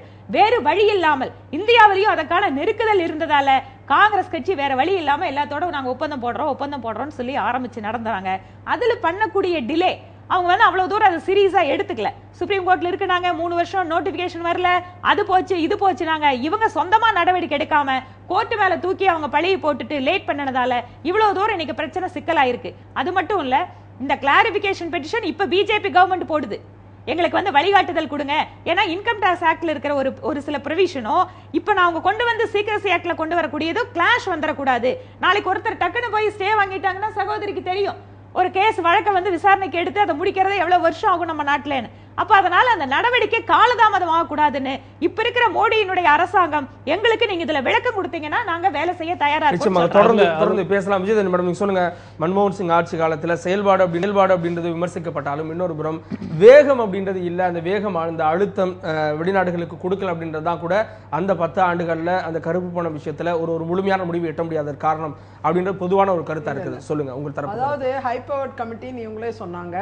அந்த ஹை பவர்ட் கமிட்டி செயல்பட்டதால் தான் இருபது இருபது நாடுகளோட ஒப்பந்தமே போட முடிஞ்சுது. இருபது நாடோட ஒப்பந்தம் போடுறதுன்னா அது ஒரு பெரிய இமாலய சாதனை. இன்றைக்கி அந்த ஒப்பந்தமெல்லாம் நாங்கள் போட்டு வச்சதால தான் இன்னைக்கு சுவிட்சர்லாண்டில் இவங்களுக்கு எண்ணூறு டீல கொடுத்துருக்காங்க. இல்லைன்னா கிடைக்க வாய்ப்பு இல்லை. ஆட்சி மாற்றத்தின் காரணமாக அவங்க கையில் கொடுத்தாங்க. இல்லைன்னா எங்கள் கையில் கொடுத்துருப்பாங்க. நாங்கள் எண்ணூறு பேரையும் வெளியிட்டிருப்போம். இவங்க வெறும் மூணு பேரை வெளியிட்டிருக்காங்க. அந்த அளவில் பார்த்தீங்கன்னா இன்றைக்கு சுப்ரீம் கோர்ட் தான் இந்த கேஸை முன்னெடுத்து செல்கிறது. அதில் ஒன்றும் மாற்று கருத்து இல்லை. அது காங்கிரஸ் ஆட்சி காலத்திலையும் சரி ஹைபவர்ட் கமிட்டி போட்ட பிறகு ஒப்பந்தங்கள் போடப்பட்டது. அது காங்கிரஸ் ஆட்சி காலத்தில் அது காங்கிரஸ் தான் பண்ணுச்சு. யூபிஏ தான் பண்ணுச்சு அதை. அது பண்ணதுனால நிறைய பிரச்சனையும் நாங்கள் ஃபேஸ் பண்ண வேண்டியது வந்தது. அதெல்லாம் நாங்கள் ஃபேஸ் பண்ணோம். ஆனால் அதே நேரத்தில் அந்த நபர்களே வந்து பிஜேபிக்கு துணை புரிஞ்சதும் உண்டு அரசியல் கட்சிகள் அந்த? அந்த அந்த அளவில் அந்த? அந்த அளவில் நீங்க நீங்க. நீங்க சொன்னீங்கல்ல இப்ப நீங்க வந்து கோர்ட்டை பத்தி கோர்ட் வந்து என்ன வேணா பண்ணலாம் அது வந்து கோர்ட் தாமதம் எல்லாம் ஒரு கணக்கே கிடையாது பிடிச்சு பறிச்சு கோர்ட்ல இருந்து இழுத்து எதையும் செய்ய முடியும். நீங்க வழக்கறிஞர் உங்களுக்கு தெரியும். அப்படி செய்ய முடியுமா முடியாதா நீங்க யோசிக்கணும் நான் நினைக்கிறேன். அந்த அளவில் புதுசா பாத்தீங்கன்னா எடுத்து ஹை பவர் கமிட்டி இயங்கினதுனால தான் இருபது நாடுகளோட ஒப்பந்தம் போட முடிஞ்சது. ஹை பவர் கமிட்டி இயங்கினதுனால தான் ஜி இருபது நாடுகள் சார்க் நாடுகள் எல்லா நாடுகள் முன்னாடியும் ஐநா ஐநா பொது சபை எல்லா இடத்துலையுமே இந்த கருப்பு பணம் பற்றின விஷயங்கள் பேசப்பட்டது இந்தியாவால். பேசப்பட்டு நடைமுறைப்படுத்தப்பட்டது. டாக்டர் மன்மோகன் சிங் தான் அதற்கு பெரிய மு- முழு முயற்சி எடுத்தார். ஆனால் அந்த முயற்சிகள் கடுமையான முயற்சிகள் எடுத்து இதையெல்லாம் வழிவகை செய்து இன்னைக்கு ஈஸியாக எல்லாத்தையும் கொண்டு வரதுக்கான நடைமுறைகளை செய்து ஒரு பட்டியலும் வெளியிடப்பட்டது. ஏற்கனவே காங்கிரஸ் ஆட்சி காலத்தில் பிற நாடுகள் வெர்ஜின் ஐலண்ட்ஸ் போன்ற பல்வேறு நாடுகள்லேருந்து கொண்டு வரப்பட்ட பட்டியல். அது அந்த அதன் பின்னர் இப்போ சுவிட்சர்லாந்து வந்து ஆட்சி மாற்றத்தின் காரணமாக அது இப்போ தான் சுவிட்சர்லாந்து போட்ட இந்த ஒப்பந்தத்திலேருந்து இப்போ தான் தகவல்கள் கிடைக்கப்பெற்று இவங்க எண்ணூறு பேர் பட்டியல் கையில் கிடைச்சிருக்கு. அந்த எண்ணூறு பேர் பட்டியல் அவங்க இன்னைக்கு வெளியிடல. அவங்க வெறும் செலக்டடாக ஒரு மூணு பேர் அதில் பிரதீப் பர்மனும் லோதியாவும் அந்த பேர் ஏற்கனவே அந்த பதினெட்டு பேர் பட்டியலில் இருக்குது ஏற்கனவே இருக்குது ராதா திம்புளே மட்டும்தான் புதிய பேர் அதில். அதில் வேற எந்த புதுசாக இவங்க எதையுமே வெளியிடலை. ஆ ஏற்கனவே அந்த லோதியா இடத்துல ஐடி டிபார்ட்மெண்ட் ரேடு நடத்திக்கிட்டாங்க நடத்திட்டாங்க. ரெண்டு வருஷம் ரெண்டரை வருஷம் முன்னாடி ரேடு நடத்தியாச்சு. நடத்தி சார்ஜ் ஷீட் போட்டதால தான் நேம் கொடுக்க முடிஞ்சது ரேடு நடத்தி சார்ஜ் ஷீட் எல்லாம் போட்டுட்டு அது காங்கிரஸ் ஆட்சி காலத்துல பண்ணலையா அப்ப? அதான் நீங்க அந்த கொடுத்ததுக்கு. பாத்தீங்கன்னா ஏன் அத அதாவது ஐடி டிபார்ட்மெண்ட் ஆக்ஷன் எடுத்த பிறகுதான் சுவிட்சர்லாந்து ஒப்பந்தத்தின்படி அங்க இருந்து அவங்கள பத்தின பட்டியல் கிடைக்கும். நிச்சயமா, அந்த. அது இது வந்து. இல்ல இல்ல இது இல்ல வந்து நான் கேக்குறேன். ஐடி ஒப்பந்தம். ஆக்ஷன் அப்படின்னு ஒரு விஷயம் சொல்றேன் விஷயம் சொல்றீங்க. அதை வந்து மத்திய அரசு அதுக்கு அழுத்தம் கொடுக்கலாம் தானே? மத்திய அரசு அதற்கு அழுத்தம் கொடுக்கலாம் தானே? ஏன் அன்னைக்கு ஆட்சியில இருந்த அரசும் கொடுக்கல? இன்னைக்கு ஆட்சியில் இருக்கக்கூடிய அரசும் வந்து அழுத்தம் கொடுத்தது. கேள்வி. ஏன் திருப்பி திருப்பி இதை கேக்குறீங்களே? அழுத்தம் கொடுத்ததால தானே இருபது நாடு ஒப்பந்தம் ஆயிருக்கு. அழுத்தம் கொடுத்து இருங்க இருங்க இருங்க நீங்க எல்லாம் பேசும்போது நான் ஏதாவது பேசுனேனா சரி, முடிங்க, முடிங்க. அமைதியா கேளுங்க முடிங்க. வெயிட் பண்ணுங்க இல்ல, இல்ல, நீங்க பேச yeah. கொடுங்க நீங்க. Let me complete. சரி, நீங்க complete. அந்த அளவு இல்ல நீங்களா நிறைய பேசுனீங்க அதுக்கு ஈக்குவலா இல்ல. வேண்டாமா. அந்த அளவில் சரி, இனி அவங்க பதில் சொல்லிட்டு நம்ம கிளம்பலாம் நீங்க முடிஞ்சா கிளம்புங்க நான் வேணா பேசிட்டு இருக்கேன் அந்த அளவில் பாத்தீங்கன்னா இன்றைக்கு வந்து இந்த ப- இருபது நாடுகளோட ஒப்பந்தம் போடப்பட்டதுதான் ஒரு பெரிய மிகப்பெரிய சாதனை. அந்த ஒப்பந்தம் இல்லைன்னா இன்னைக்கு நீங்க வந்து இல்ல அந்த அந்த அந்த- சாதனையோடு காங்கிரஸ் ஆட்சி அப்படின்றது முடிந்து விட்டது காங்கிரஸ் ஆட்சி முடிந்தது. புதிய ஆட்சி வரும்பொழுது அந்த ஒப்பந்தம் நாங்க அந்த ஒப்பந்தம் காங்கிரஸ் போட்டுச்சு. நாங்க ஏத்துக்கவே மாட்டோம். எல்லாம் சரண்டர் பண்ணி நாங்க புது ஒப்பந்தம் போட்டு நாங்க பிஜேபியோட திறமையை நாங்க ப்ரூவ் பண்றோம் வேணா பண்ணட்டுமே. அவங்க ஃபைனான்ஸ் மினிஸ்டர் பிரைம் மினிஸ்டர் முடிஞ்சா பண்ணட்டுமே. எங்க முதுகுல தானே சவாரி பண்றாங்க? நாங்க பண்ணதை தானே அனுபவிச்சுக்கிட்டு இருக்காங்க இன்னைக்கு. ஏங்க, அப்படி பார்த்தா நாங்கள் எடுத்த முயற்சிகள் தான் இன்னைக்கு. இவர்கள்? இன்னைக்கு வந்து இந்த எண்ணூறு பேர் பட்டியல் கூட எப்படி கிடைச்சது? நாங்க? வந்து ஐடி டிபார்ட்மெண்ட் வந்து ஐடி நாங்க என்ன- செஞ்சோமோ இதுதான். அதனுடைய பலன்களை இன்றைக்கு எடுத்துக்கொண்டு அதில் உள்ள பெயர் மாற்றங்களை செய்து இன்னைக்கு அனுபவிக்க ட்ரை பண்றாங்க காங்கிரஸ் மேடம் நீங்க சொல்லுங்க நீங்க சார்ஜ் ஷீட் போட்டவங்க மேல மட்டும் தான் பட்டியல் வெளியிட முடியும் ஒரு அந்த சகோதரர். ஒரு நிமிஷம் மட்டும் இருங்க. தானா அது நிமிஷம் சுவிட்சர்லாந்து இருங்க. மட்டும்தான். நான் என்ன சொல்றேன்? அது பொருந்தாது. மத்த காங்கிரஸ். கட்சி முதுகு மேல சவாரி பண்றாங்கன்னா இது தான். டிபிக்கல். டிபிக்கல் காங்கிரஸ்காரங்களோட மனோபாவம் ஏதோ இந்த நாடும் அரசாங்கம் வந்து அவர்களுக்கு மட்டுமே சொந்த மாதிரியும். அவர்களால தான் இந்த நாட்டுல வந்து ஏதோ நல்ல காரியம் நடந்துட்ட மாதிரி இருக்கிற காங்கிரஸ் கட்சியோட மனோபாவத்தை சகோதரி பிரதிபலிக்கிறார் எல்லாம்.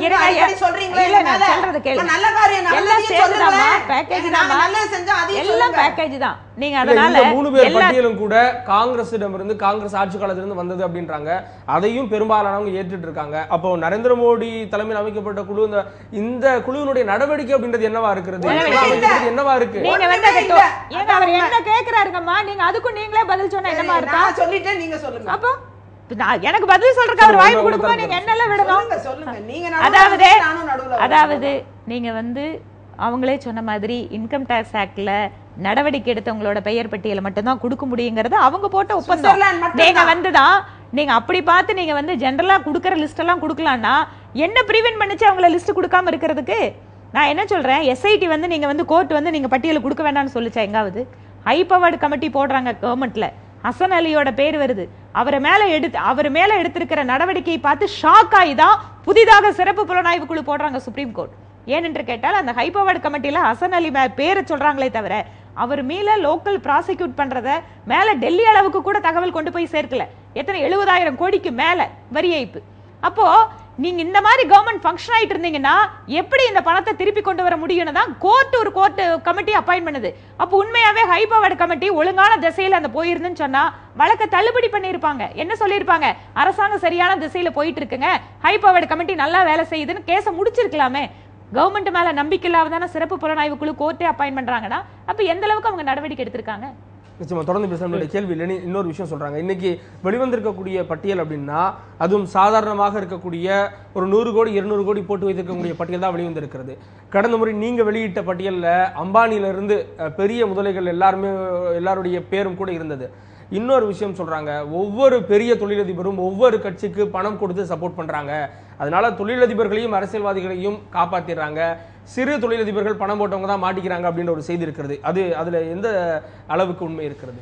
அதுதாங்க உண்மை அதுதாங்க யதார்த்தம். நடைமுறையில் தாங்க நடந்துட்டுருக்கு. எல்லாருக்குமே தெரியாது எப்படின்னு. இன்னைக்கு வெளியிடப்பட்ட பட்டியல் வந்து வெறும் கண் துடைப்புக்காகத்தான். ஏன்னா இவ்வளோ ப்ரெஷரையும் கோர்ட்லேருந்து வர சமயம் தான் எடுக்கப்பட்ட ஒரு ஒரு சின்ன ஒரு ஆக்டிவிட்டி அவ்வளோதான் ஒழிய இது வந்து எந்த இன்டென்ஷன்ஸ் இல்லை. இன்டென்ஷன் இருந்துச்சுன்னா அவங்க சொன்ன மாதிரி எண்ணூறு பேர் அந்த லிஸ்ட்டில் வந்து அட்லீஸ்ட் ஒரு நூறு பேராக வெளியிடலாமே. ஃபர்ஸ்ட் ஸ்டெப் இல்லை ரெண்டு ரெண்டு மூணு இல்லாட்டி வந்து ஒரு மூணு ஃபேஸாக வெளியிடுறோம். கோர்ட்டோட டைரக்ஷன்லேயே மூணு ஃபேஸ் சொல்லிட்டு அப்படியும் பண்ணல அப்படியும் பண்ணல. இனி ஒரு கேட்ச் இதில் இருக்கு பார்த்துக்கோங்க. எந்த உங்கள் உங்கள் உங்கள் பேரில் அந்த லிஸ்ட்டில் இருந்துச்சுன்னா உங்கள் மேல உங்கள் மேலே வரி ஏய்ப்பு புகார் எதுவும் இருந்து அது வந்து இன்கம் டேக்ஸ் வந்து கிளியர் பண்ணால் அது உண்மையான சார்ஜ் சார்ஜ் இருக்குன்னு கண்டுபிடிச்சா மட்டுமே சொல்லுவீங்க. இப்போ எண்ணூறு பேருக்கு நீங்கள் ஓவராலாக இன்வெஸ்டிகேட் பண்ணி வரீங்க நீங்கள் எத்தனை வருஷம் ஆகும்? இனி ஒரு அடுத்த இருபது முப்பது வருஷம் ஆகாது அப்போ வந்து இது வந்து மொத்தமாகவே இது வந்து கண் துடைப்பு தான். தேசத்துக்கு எதிரான இன்னைக்கு எப்படி இன்னைக்கு இந்தியாவில் பிரிவு பிரிவினைவாதம்னு பேசினா தேசத்துக்கு எதிரான குற்றமோ அதாவது வேஜிங் அகேன்ஸ்ட் அகேன்ஸ்ட் ஸ்டேட் எப்படி ஒரு எப்படி வந்து தேச குற்றமோ அதே மாதிரி இது ஒரு பெரிய தேச குற்றமாக இந்த மோடி அரசும் கருதினால் வந்து அத்தனை பேர் லிஸ்ட்டே வந்து அவங்க வந்து வெளியிடணும். வெளியிட்டு இது வந்துட்டு இதுக்கு மேபி அவங்களுக்கு எவ்வளோ இங்கே பாருங்க நீங்கள் ப்ரிவென்ஷன் கரப்ஷன் ஆக்ட்லேருந்து ஃபெமாலேருந்து எவ்வளோ சட்ட சட்டங்கள் இருக்குது எந்த சட்டத்திலையும் அவங்க புக் பண்ணல. அவங்க டிஃபெண்ட் பண்ணிட்டு. நான் என்ன சொல்றேன்னா எல்லார் பேரும் வெளியிடுங்க. நீங்க குற்றவாளின்னு சொல்லி உங்களுக்கு சார்ஜ் போடுங்க. அவங்க வந்து டிஃபெண்ட் பண்ணிட்டு கோர்ட்டில் வந்து. நான் குற்றவாளி இல்ல. இப்போ அருண் ஜேட்லி சொன்ன ஒரு விஷயம் அப்படின்றது எல்லாருடைய பட்டியலும் வெளியிட்டால் நாட்டினுடைய வரி விதிப்பு முறையே ஸ்தம்பித்து விடும் வரியே கிடைக்காது அப்படின்றாரு. எந்த அடிப்படையில் அவர் இதை சொல்லியிருக்காரு? இதனால ஒரு நாடே ஸ்தம்பிச்சு போகக்கூடிய நிலைமை ஏற்படுமா? என்னென்ன சொல்லியிருக்க? இல்ல அவர் சொல்லியிருக்கக்கூடியது ஒட்டுமொத்த பட்டியலையும் வெளியிட்டால் நாட்டினுடைய வரி விதிப்பு முறையே முறையே ஸ்தம்பித்து விடும் அப்படின்ற ஒரு கருத்தை அருண் ஜேட்லி சொல்லியிருக்காரு. இது எந்த வகையில்? என்ன கேட்டீங்கன்னா அது இன்கம் டேக்ஸ் ஆக்ட்ல வந்துட்டு ஜென்ரலான ஒரு லிஸ்ட் போட்டுட்டு சார் சொல்றாருல்ல. இப்ப வந்து நீங்க வந்து பணத்தை வந்து போட்டு வச்சிருக்கீங்கன்னு உங்களோட பேர் வருதுன்னு வைங்க. இல்ல, இது வரைக்கும் என் பேர் வரல. ஒருவேளை வரலாம். தெரியாது. யார் பேர் வரும்னெல்லாம் தெரியாதுல்ல? அந்த மாதிரி. அதனால அதனால இப்போ உங்க பேரை நான் வந்து ஃபார் எக்ஸாம்பிள் உங்க பேர்ல இல்ல வேற யாரோ தான் போட்டிருக்காங்கன்னு வைங்களேன். அப்படி வந்து விடுறோம். சார் சொல்ற மாதிரி நீ ஃபர்ஸ்ட் எல்லாத்துக்கும் சம்மன் கொடுத்துரு. அவங்க வந்து டிஃபெண்ட் பண்ணட்டும் அப்படின்னு சொன்னா நீங்க வந்து லீகல் சிஸ்டத்துல என்ன ஆகும்? யோசிச்சு பாருங்க. அப்ப என்ன ஆகும்? ஒவ்வொருத்தருக்குமே அதுக்கான ஒரு யார் வேணாலும் பேரை சேர்த்துக்கலாமே. வேணுனே ஒரு நீங்க சொல்ற மாதிரி அரசாங்கம் இல்ல அதுதான் சொல்றேன்? அந்த அந்த? பிரிமா ஃபேசி அப்படிங்கிறது கூட ஒரு சேஃப்டி கொடுக்குறாங்க என்னன்னு என்ன கேட்டா? இல்ல அதுதான் இன்கம் டாக்ஸ் ஆக்ட்ல சார் ல பேர் 800 இருக்கு. பேத்து மேல ப்ராசிக்யூட் பண்றதெல்லாம் ஒரு பெரிய காரியம் இல்ல அரசாங்கத்துக்கு you just for wait for some time because நீங்க இப்பதான் கிளாரிபிகேஷன் பென்ஷன் போட்டிருக்காங்க. நாளைக்கு விசாரணை கூட வரப்போகுது. அதனால எட்நூறு பேத்து மேல விசாரணைக்கு இருபது வருஷம் ஆகுங்கிறதெல்லாம் அதெல்லாம் ஹம்பக் ஒரு அரசாங்கம் இன்டென்ஷன் இல்லைங்க வந்து. இன்டென்ஷன் இல்ல. இங்க இது வந்து only time has to decide இவர் சொல்றாரு ஒரு அலிகேஷன் உங்களுக்கு இன்டென்ஷன் இல்ல. நாங்க சொல்றோம். இல்ல என்னுடைய ஒரு பொதுவான கேள்வி சொல்லுங்க. கடந்த பத்தாண்டுகளை விட்டு விடுங்கள் தொண்ணூறு நாட்களை விட்டு விடுங்கள் நூறு நாட்களை விட்டு விடுங்கள் இந்த ஆட்சி காலம் முடிவதற்குள்ளாக பணம் என்பது திரும்ப வருமா அப்படின்ற ஒரு கேள்வி இருக்கிறது. அதற்கு விடை அப்படின்றது எப்படி இருக்கும்? நிச்சயமா நல்லதா தான் இருக்கும். ஏனென்றால் ஒரு மத்திய அரசாங்கம் இவ்வளவு தூரம் முயற்சி எடுத்து ஸ்பெஷல் டீம் uh, வந்து போயிட்டு வந்தாச்சு. இன்ட்ரீம் ரிப்போர்ட் கொடுத்துருக்காங்க. அதில் இருக்கக்கூடிய ஒரு சட்ட சிக்கலை தீர்க்கறதுக்காக தானே முன்வந்து சுப்ரீம் கோர்ட்டில் அனுமதி கேட்குறாங்க வழக்கு விசாரணை தொடர்ச்சியாக வரப்போகுது. சிறப்பு புலனாய்வு குழு வந்து தங்களோட விசாரணையை தொடர்ந்து செஞ்சுட்டே இருக்காங்க. நிச்சயமாக இதில் நல்ல முடிவு தான் நம்மளுக்கு வரும். நிச்சயமா பேசலாம். விஜயதனி மேடம் இன்னொரு கேள்வி இருக்கிறது. கடந்த ஆட்சி காலத்தில் பிரணாப் முகர்ஜி நிதியமைச்சராக இருந்தப்போ இந்த கருப்பு பணத்திற்கெல்லாம் வரி வாங்குவதற்கான நடவடிக்கைகள் எடுக்கப்பட்டு வருது அப்படின்னாங்க. ஏறக்குறைய கருப்பு பணம் அப்படின்றதே ஊழல் பணம் சட்டவிரோத பணம் அப்புறம் தீவிரவாதத்திற்கு பயன்படக்கூடிய பணம் அப்படின்னு ஒரு முத்திரை குத்தப்பட்ட ஒரு பணமா இருக்கிறது. அந்த பணத்தை மீட்பதை விட்டுவிட்டு அதற்கு வரி வாங்கி அதனை வெள்ளையாக்கக்கூடிய முயற்சியில தான் ஈடுபடுறாங்கன்னு அப்போ ஒரு மிகப்பெரிய ஒரு குற்றச்சாட்டு ஏற்பட்ட குற்றச்சாட்டெல்லாம் எழுந்தது. இது இந்த வரி வாங்குறதுனால அந்த அந்த பணம் அப்படின்றது ஒயிட்டேருமா இன்னொன்று இந்த வரி வாங்குறதுனால அந்த பணத்துக்கு வந்து சரியான கணக்கு காட்ட? அப்படி கிடையாது. அதாவது வரி வாங்குவது இல்ல பெனாலிட்டி அதாவது அந்த பணத்தை திருப்பி அவங்க கையில போகாது. அந்த அந்த பணம் சேகரித்த பணத்தை நீ அந்த பணத்துக்கு மேல இப்ப நூறு கோடின்னா முந்நூறு கோடி பெனால்ட்டி அப்போது வர அந்த எடுக்கிற நூறு கோடி ப்ளஸ் முந்நூறு கோடி நானூறு கோடி அவங்க செலுத்த வேண்டிய பணம். அந்த மாதிரி பெனால்ட்டி போடுறாங்க. ரெகுலர் பிஸ்னஸ் மென்னு அந்த மாதிரி பிஸ்னஸ் டிரான்சாக்ஷன் பண்ணவங்களா இருந்தால் ஒரு இன்கம் டேக்ஸ் ஆக்டில் என்ன மறைக்கிறாங்களோ அதுக்கு மூணு முந்நூறு மடங்கு பெனால்ட்டிங்கிற மாதிரி போட்டு பெனால்ட்டி சேர்த்து அந்த பணத்தையும் ரெக்கவர் பண்ணுவாங்க. அங்கே இருக்கக்கூடிய பணத்தையும். அந்த மாதிரி நடைமுறை தான் வந்து இன்றைக்கி இந்தியாவில் இருக்கக்கூடிய சட்டங்களில் அப்படி இருக்குது தண்டனை பெறக்கூடிய அரெஸ்ட் பண்ணி உள்ள வச்சு ப்ராசிக்யூஷனில் உள்ள வச்சு தண்டனை பெறக்கூடிய அந்த சட்டங்களை பொறுத்தவரை வேற சட்டங்கள். வெளிநாட்டில் கொண்டு பதுக்கியதுக்கு அதுக்கும் சட்டங்கள் இருக்கு. அவங்களுக்கு இத்தனை ஆண்டு காலம் சிறை தண்டனை என்றெல்லாம் இருக்கு. இன்னைக்கு சட்டத்துக்கு ஒன்றும் கம்மி கிடையாது. ஆகையால நம் சட்டங்களின் அடிப்படையில் அவங்கள அரெஸ்ட் பண்ணி உள்ள வச்சு ட்ரையல் நடத்தி மீண்டும் கன்விக்ஷன் கொடுத்து எல்லாம் சுப்ரீம் கோர்ட் வரைக்கும் அவங்களுக்கு போறதுக்கு அவங்களுக்கும் ரைட் இருக்கு. அதே நேரம் அவங்கள வந்து தண்டனைக்கு உட்படுத்துறதுக்கு வழிமுறைகள் இருக்குது ஆகையால அப்படி ஆரம்பிச்சது தான் அசன் எல்லாம். காங்கிரஸ் காலத்தில் தான் அசன் அலி கேஸ் ஆரம்பிச்சது. இன்னும் நட இன்னும் கேஸ் முடியல அந்த கேஸ் நடந்துட்டு தான் இருக்கு. ஆகையால இன்னைக்கு அது அந்த ஒரு கேஸ் இல்லை இன்னைக்கு பல்வேறு கேஸ் நடந்துகிட்டு இருக்கு பலர் க- பட்டியலை காங்கிரஸ் வெளியிட்டு சுப்ரீம் கோர்ட்டில் சப்மிட் பண்ணி எல்லார் மேலேயும் கேசஸ் நடந்துகிட்டு இருக்கு அதே நேரம் பொய்யான பெயர்களை தந்துவிடக்கூடாது என்று இவங்க சொல்றாங்க. ஆனால் எண்ணூறு பேர் பட்டியல் கையில் கிடச்சிருக்குன்னா அது பொய்யா உண்மையான்னு வெரிஃபை பண்ணுறதுக்கு ரொம்ப நேரம்லாம் ஆகாது. ஏன்னா காங்கிரஸ் காலத்தில் எழுநூறு பட்டியல் கிடைக்க பெற்று அதில் சுப்ரீம் கோர்ட்டில் ப்ரொடியூஸ் பண்ணி உண்மையான பட்டியல் என்னன்னு சுப்ரீம் கோர்ட்டே அந்த வெரிஃபை பண்ணி அவங்களே அதை எடுத்து இன்வெஸ்டிகேஷனை ஸ்டார்ட் பண்ணிட்டாங்க. நம்ம அரசாங்கத்தோட உதவியோட அது நடைமுறைப்படுத்தப்பட்டு இன்றைக்கி நடந்துக்கிட்டு இருக்க அந்த இன்வெஸ்டிகேஷன் இன்வெஸ்டிகேஷன் நடந்து பலர் பேர் மேல நடவடிக்கை எடுக்கப்பட்டு பெனால்ட்டியும் போடப்பட்டிருக்கு அதே நேரம் வரல? இல்லையா அதெல்லாம் வந்தாச்சு வெளியில வந்தாச்சு பேர் எல்லாமே வெளியில. வந்தாச்சு நீங்க போய் பாருங்க நீங்க அதுல பாருங்க. நீங்க நான் list தான் வெளியில-. அந்த இல்லைன்னா வெளியில எனக்கு கிடைச்சிருக்குமே. list வெளியில வரல நீங்க தான் சொல்லிட்டு இருக்கீங்கன்னு ஆமா. நினைக்கிறேன் இல்ல, இல்ல, இல்ல, இல்ல, இல்ல. தொடர்ந்து. பேசலாம் இல்ல, இல்ல. இல்ல வானதி நீங்க பேச நினைக்கிறீங்களான்னு இல்ல இல்ல. வானதி உங்களுடைய உங்களுடைய தான் நான்? பதில் அங்கிருந்து கேட்கிறேன் இங்க வரீங்க இங்க வரீங்க இங்க இருந்து இங்க போறீங்க அங்க போறீங்க அப்படிதாங்க இப்படியே தான் போவாரு. போயிட்டே இருங்க. அப்படிதான் வர முடியும். இல்ல, நான்- இங்க வந்தா இங்க வரணும் இங்க இருந்து அங்க இல்ல இல்ல போகணும். உங்க உங்க கேள்விக்கான வரணும். உங்க கேள்விக்கான அப்படிதான் விடை நீங்க கேட்கிறேன் opportunity கொடுத்தா நான் சந்தோஷப்படுவேன் நான் நினைக்கிறேன். பிராங்கா சொல்லிட்டேன். நானு நீங்கள் ஏற்றுக்கணும்னு நான் நினைக்கிறேன். அந்த அளவில் பார்த்தீங்கன்னா இன்றைக்கு ஒரு காங்கிரஸ் கட்சியை பொறுத்தவரை அந்த லிஸ்ட்டை இப்போ வெளியிடு இவங்கள மாதிரி எந்த தயக்கமும் கிடையாது. ப்ளஸ் வேற இந்த கட்சி நபர்கள் இருந்தாங்கன்னு மாதிரி அருண்ஜேட்லி பேசின மாதிரிலாம் நாங்கள் பேசலை. நாங்கள் யாரையும் சொல்லலை. தவறான விஷயங்களை முன்வைக்கவில்லை. இதை மாதிரி யூபிஏ மினிஸ்டர் இருக்காங்க இவங்க இருக்காங்க காங்கிரஸ்காரங்க இருக்காங்க அவங்க தான் பதட்டப்படணும். இதெல்லாம் சொல்லவே வேண்டாம். நீங்கள் வெளியிடுங்க. காங்கிரஸ்காரங்களே இருந்தா கூட தவறு செஞ்சிருந்தா தண்டனை அனுபவிக்கணும். அது காங்கிரஸா பிஜேபி அம்மா ஆத்மியா யாரா வேணா இருக்கட்டுமே. அவங்க தனிநபர் ஒழுக்கத்தை பொறுத்தது அது. தவறு செய்திருந்தா நாட்டின் பணத்தை மறைக்கக்கூடிய நம்முடைய சொத்து அது. இந்த நாட்டின் வளர்ச்சிக்கு எதிரான ஒரு சொத்தை வேறு இடத்தில் பதிவு வைக்கக்கூடிய யாராக இருந்தாலும் இந்த நாட்டு மக்களுக்கு இழைக்கக்கூடிய துரோகம் அது. ஆகையால நாம் அதை இணைந்து போராட வேண்டும். அதுல வந்து கட்சியெல்லாம் பார்க்கக்கூடாது. அது யாராக இருந்தாலும் அவர்கள் தண்டிக்கப்பட வேண்டியவர்கள். இதுல அரசியல் பண்ண வேண்டிய அவசியமே கிடையாது. வேணா இவங்க இப்ப இப்ப தற்காலிகமா காங்கிரஸ் சொல்லிக்கிறாங்க. அதுல பிஜேபி நம்ம ரெண்டு பேர் இருக்க மாட்டாங்கன்னு என்ன சந்தேகம்? ஆகையால. என்ன பொறுத்த வரைக்கும் அந்த மனோபாவம் நமக்கு இருக்கக்கூடாது. நம்மை பொறுத்தவரை யாராக இருந்தாலும் அது வெளியில விடப்படுறது மட்டும் கிடையாது. மீண்டும் இந்த தவறு நடக்கக்கூடாது. அதை உறுதி செய்ய வேண்டும். அதுதான் நம்முடைய. நன்றி. அஹ், வானதி மேடம் நீங்க சொல்லுங்க. இந்த கருப்பு பணம் அப்படின்னா ஒரு பெரிய தொகை. இங்க வந்தா ஒவ்வொரு ஆளுக்கும் பதினஞ்சு லட்ச ரூபாய் கிடைக்கும்ன்றதெல்லாம் ஒரு கருத்து. இன்னொரு புறம் இந்த கருப்பு பணம் தான் தீவிரவாதத்திற்கு ஊண்டுகோலாக இருக்கிறது. இந்த தேசத்தில் சட்டவிரோத செயல்களுக்கு இதுதான் ஒரு மிகப்பெரிய சக்தியாக இருக்கிறது அப்படின்ற இன்னொரு பக்கமான கருத்தும் இருக்கிறது. இந்த அடிப்படையில நாம் ஏன் இந்த விஷயத்தை மூவ் பண்ணக்கூடாது? கருப்பு பணம் இந்தியாவிற்கு வந்தால் நன்றாக இருக்கும்னு யோசிக்கிறோம். இந்த அடிப்படையில் ஏன் வந்து அரசு இன்னும் நடவடிக்கைகளை துரிதப்படுத்தல அதுக்காக வேலை. பண்ணிட்டு தான் இருக்காங்க. ஏனென்று கேட்டால் நீங்க சொல்றது வந்து தீவிரவாதத்துக்கும் சம்பந்தப்பட்ட பணம் அப்படிங்கிறது மட்டும் கிடையாது. போதைப் பொருள் கடத்தல் உலகம் முழுக்க இருக்கக்கூடிய நாடுகளை பாதிக்கக்கூடிய ஆமா அதனால இது வந்து பல்வேறு விதமான சட்டவிரோத செயல்கள் செய்யற. நீங்க கேட்டீங்கன்னா ஹியூமன் டிராஃபிக்கிங் வந்து இன்னைக்கு நம்ம வெளியில வந்து போதைப் பொருள் அளவுக்கு பேசுறது இல்ல. அது இதை விட மோசமான ஒரு பிசினஸா இருக்கு.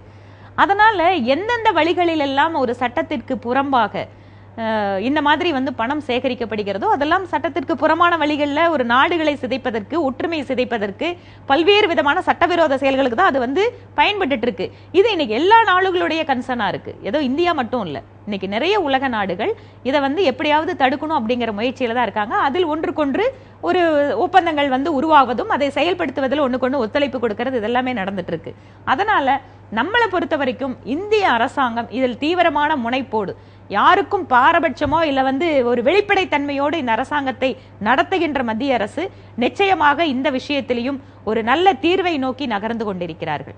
அதனால இதற்கு முன்னால போட்ட நிறைய ஒப்பந்தங்கள் இன்னைக்கு வந்து நம்மளுக்கு வந்து முன்னெடுத்து செல்ல முடியாத அளவுக்கு இருக்கும்போது அதை ரெக்டிஃபை பண்றதுக்கும் இந்த கவர்மெண்ட் ட்ரை பண்ணிட்டு இருக்கு. இப்ப ரீசெண்டா வந்து ஃபாரின் ட்ரிப்ல வந்துட்டு இது எல்லாமே இதுவும் ஒரு முக்கியமான ஷரத்தாக பேசப்படுகிறது. இதில் இருக்கிற சட்ட சிக்கல்களை எப்படி தீர்ப்பது அப்படிங்கிறது. அதனால இது உலகளாவிய பார்வையில சர்வதேச அளவுல இந்த பிரச்சனையில இந்தியா ஒரு தீவிரமான முயற்சி எடுத்துக்கொண்டிருக்கிறது நிச்சயமாக கருப்பு பண விஷயத்துல மோடி அரசாங்கம் எந்த சமரசமும் செய்து கொள்ளாது. ஒரே ஒரு ஒரே கேட்கிறேன். விஷயத்த கேக்குறேன். அவர் அதுக்கு பதில் சொல்லணும்னு நான் நினைக்கிறேன். அதாவது தேர்தலுக்கு முன்னாடி ஏன்னா அம்மா ஆத்மியையும் அதை ரொம்ப பேசுனாங்க அந்த விஷயத்த விஷயத்த. அதாவது தேர்தலுக்கு முன்னாடி பாரதிய ஜனதா கட்சி இவங்க பெரிய லிஸ்ட்டு விட்டாங்க அம்மா ஆத்மி. அது இன்னைக்கு என்ன ஆச்சுன்னு தெரியல. அந்த லிஸ்ட்டில் இருக்க யாருமே இல்லை. அடுத்தது எங்க இல்ல லிஸ்ட் எல்லாம் இன்னைக்கு பேசப்படுது நீங்க. போய் பாருங்க அந்த லிஸ்ட்ல அந்த லிஸ்ட். இல்ல இல்ல இப்ப அவர் சொன்ன லிஸ்ட் எல்லாம் வெளியில வந்தா சந்தோஷம் தான் நான்லாம் வந்து ரொம்ப அது அம்பானியா இருந்தாலும் சரி அதானியா இருந்தாலும் சரி அதானி தான் இப்ப பிஜேபிக்கு ரொம்ப ஹெல்ப்பா இருக்காரு ஏன் அம்பானி கூட. அம்பானி கூட தான் இன்னைக்கு நேத்துக்கு ரூயா அவங்க அம்பானி முகேஷ் அம்பானி ஒய்ஃப் உங்களுக்கு கையெல்லாம்? புடிச்சு இப்படி பேசிட்டு இருந்தாரு நரேந்திர மோடி? போட்டோ எல்லாம் வாட்ஸ்அப்ல எல்லாரும் அதுதான் சொல்றேன். அம்பானி எல்லாம் வந்து அமெரிக்கா கூடயே கூட்டு போனாரு மோடி அவர்கள். அதெல்லாம் நமக்கு எல்லாம் தெரியும். இருந்தாலும் கூட கூட. அவரு இவரு அம்- அம்மா ஆத்மியோட லிஸ்ட் அந்த லிஸ்ட் பிரகாரம் அதானி அம்பானி எல்லாரும் இருக்காங்கன்னு சொல்லியிருக்காங்க. அவங்க எல்லாம் வரணும். வந்து வரட்டும். அந்த பணம் எல்லாம் கிடைச்சா நமக்கு நல்லது. இவ வானதி அவர்களும் நானும் ரொம்ப சந்தோஷப்படுவோம். அது பிரச்சனையே கிடையாது. ஏன்? அவர் கூட சந்தோஷப்படுவாரு. அந்த அந்த அளவு- அந்த அளவு ஒரு தேர்தலுக்கு முன்னாடி அதாவது தேர்தல் பிரச்சாரத்துல மோடி அவர்களும். பாரதிய ஜனதா கட்சி ஒவ்வொரு நபரும். கருப்பு பணத்துல பதினஞ்சு லட்சம் ரூபாய் அக்கவுண்ட்ல போடுவேன் நாங்க நான் குறைஞ்சபட்சம் கேக்குறேன். இந்த எண்ணூறு அக்கவுண்ட் கிடைச்சிருக்குல்ல. இந்த எண்ணூறு அக்கவுண்ட்ல ஒரு நம்ம நாட்டு மக்களோட ஜன்தன் திட்டம் அந்த அக்கவுண்ட்ல மூணு லட்சம் ரூபாய் ஒருத்தருக்கு கொடுங்க ப்ளீஸ் அதே பண்ணுங்க? நீங்க இவ்வளவு குழப்பம் இருக்கிறது அப்படின்றப்போ எப்படி பணம் எப்படி பிரிச்சு கொடுப்பீங்க. நீங்க அவர் என்னுடைய கேள்வி நான் கேட்டுக்கிறேன். அவர் தான் ஆங்கர் ம- நீங்க பேசுங்க. சொல்ல ஒரே விஷயம். ஒட்டுமொத்த இருபத்தைந்து சதவீத வளர்ச்சியை இந்த கருப்பு பணம் வச்சிருக்கு. பல க கணிப்புகள் வந்தாலும் இருபத்தி ஆறரை லட்சம் கோடியில இருந்து நூத்தி இருபது லட்சம் கோடி வரைக்கும் இருக்கும் அப்படின்றாங்க. இவ்வளவு பெரிய ஒரு ஒரு விஷயத்தை ஒரு ஒரு தனி சட்டமாக கொண்டு வந்து இதற்கென கருப்பு பணத்தை மீட்பதற்கு தனியாக ஒரு டிபார்ட்மெண்ட் கொண்டு வந்து ஒரு அரசாங்கம் இதனை தான் முக்கிய குறிக்கோளாக செயல்படுத்தணும் அப்படின்ற ஒரு கோரிக்கையும் இருக்கிறது. இதனை வந்து எந்த அரசாங்கம் வந்து ஒரு ஒரு இரண்டாம் தரபட்சமாக தான் நடத்துது. இதற்கு என்ன காரணமாக இருக்கும்? இன்னொன்று இதனை செயல்படுத்துவதில் என்ன சிக்கல்கள் இருக்கும்னு நினைக்கிறீங்க? ஏங்க பேசிக்கலாக இதில் ஒரு விஷயம் பார்த்தீங்கன்னா லிஸ்ட்டில் இருக்க பேர் தாங்க பிரச்சனை. அந்த பிரச்சனை அந்த லிஸ்ட்டில் உள்ள பேருக்கு தனக்கு எந்த சம்பந்தம் இருந்தால் காங்கிரஸ் இதில் தயங்கிருக்க மாட்டாங்க பாரதிய ஜனதா கட்சி தயங்கிருக்க மாட்டாங்க. இப்போ அதாவது ஷோ ஸ்டாப்பர்னு சொல்லுவாங்க இல்லையா அந்த ஷோ ஸ்டாப்பர் வந்து லிஸ்ட்டில் இருக்க பேர் தான் பிரச்சனை. ரெண்டாவது நீங்கள் சட்டப்பூர்வமாக கேட்ட கேள்வி வந்து இப்போ ஃபாரின் எக்ஸ்சேஞ்ச் மேனேஜ்மெண்ட் ஆக்ட் இருக்கு வந்து அப்போ ஃபாரின் ரெகுலேஷன்ஸில் வருது. அதே மாதிரி மாதிரி இன்கம் டேக்ஸ் ஆக்ட் வருது ப்ரிவென்ஷன் ஆஃப் கரப்ஷன் ஆக்ட் வருது. இதுல தான் இப்போ கவர் பண்றாங்க. இதுக்குன்னு ஸ்பெசிஃபிக்காக லெஜிஸ்லேஷனோ புதிதாக சட்டமோ வந்து இப்போதைக்கு வந்து எதுவும் இல்லை இல்லை. இதுக்குள்ள தான் கவர் பண்றாங்க. ஏன்னா அதே வந்து என்ஃபோர்ஸபிள் நல்ல ப்ரொவிஷன்ஸ் இருக்கு பனிஷ்மெண்ட் செக்ஷன்ஸுக்கு எல்லாம் அதை கவர் பண்றாங்க. அதாவது வந்து இதுல வந்து நான் புதுசா ஒரு சட்டம் இவங்க ஏற்றி அதை செயல்படுத்த விட இருக்க சட்டங்களை என்ஃபோர்ஸ் பண்ணா அதுவே வந்து ஒரு மிகச்சிறந்த ஒரு- ஒரு அதாவது செயல்படக்கூடிய அரசாக இருந்தாலே இந்த பணம் ஏறக்குறைய நாட்டிற்கு வந்துவிடும் அப்படின்ற ஒரு நம்பிக்கை அப்படின்றது தற்போதைய இந்த விவாதத்தின் மூலமாக தெரிந்திருக்கிறது. அரங்கத்தில் வந்து கருப்பு பண விவகாரத்தில் பணம் கிடைக்கிறதோ இல்லையோ நமக்கு ஆளுக்கு உங்களுக்கு எனக்கு பதினைந்து லட்சம் ரூபாய் கிடைக்கிறதோ இல்லையோ இல்லையோ உண்மையில் இந்த கருப்பு பண விஷய விஷயத்தில். மறைந்திருக்கக்கூடிய பக்கம் என்பது என்ன பல்வேறு விதமான கேள்விகளுக்கு விடை கிடைத்தது உங்கள் மூவருக்கும் நன்றி. நன்றி. மீண்டும் அடுத்ததொரு சத்தியம் சாத்தியமே விவாதம் இடையிலே சந்திப்போம். நன்றி. வணக்கம்.